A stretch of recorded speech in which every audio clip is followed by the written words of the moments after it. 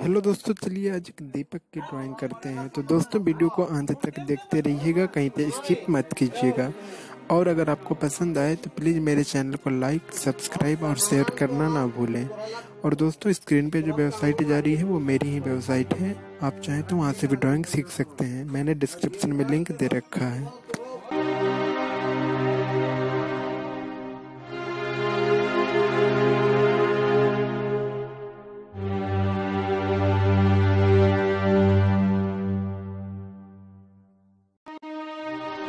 thank you